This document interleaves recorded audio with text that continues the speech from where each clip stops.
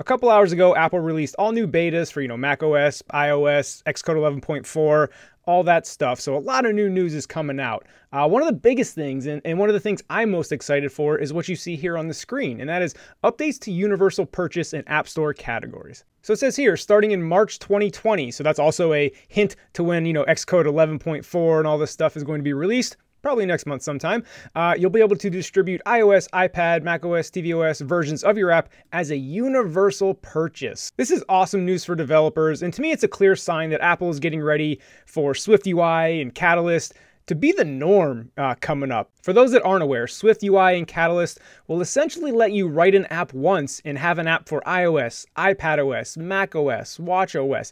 Of course, I'm oversimplifying that. There's you know some work you have to do, and Swift UI and Catalyst are still super early. Like we're probably a couple years away from this being the norm, but I think this is in clear preparation for it being the norm, right? Because right now it's hard to have an iOS app and a macOS app because you have to write two separate apps and it's kind of a pain, right? Well, now with SwiftUI and Catalyst, you'll be able to write one app, have it on all the platforms, and then now everything is a universal purchase. You can see the direction that this is all going. And let me show you a firsthand example of this with an app that I used heavily during my contracting days, and that was Tyme 2.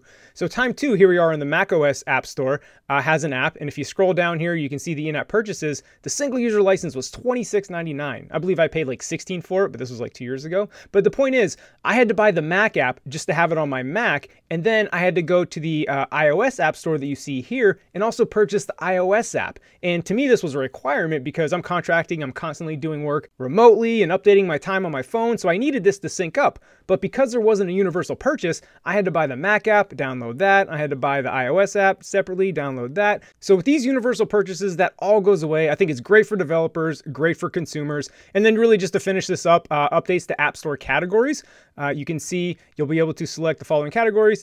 Developer tools will now be a category. Obviously us developers gonna love that category. And graphics and design and you know mac os is going to get all these ones the books drinks magazines navigation shopping and another change of combining the photo and video categories into one called photo and video. Uh, real quick though how you'll be able to do this again this isn't going to be ready until march of 2020 uh, or you can kind of mess around with it in the xcode 11.4 beta but again it sounds like 11.4 is going to come out of beta sometime in march 2020 um, but you see you can choose to create a new app uh, for these platforms using a single record app. That's if you're building a new app single record app will get you that universal purchase, or you can add platforms to your existing app record. And then, of course, get started by building and testing your apps using a single bundle ID with Xcode 11.4. So if you're in the situation where you have a Mac app and an iOS app, download Xcode 11.4 and start playing around with this universal purchase and get ready to launch that in March of 2020 because again, I think it's awesome for developers, great for consumers. Like I said, I, have had to do this as a consumer. So all around good news, really happy to see this.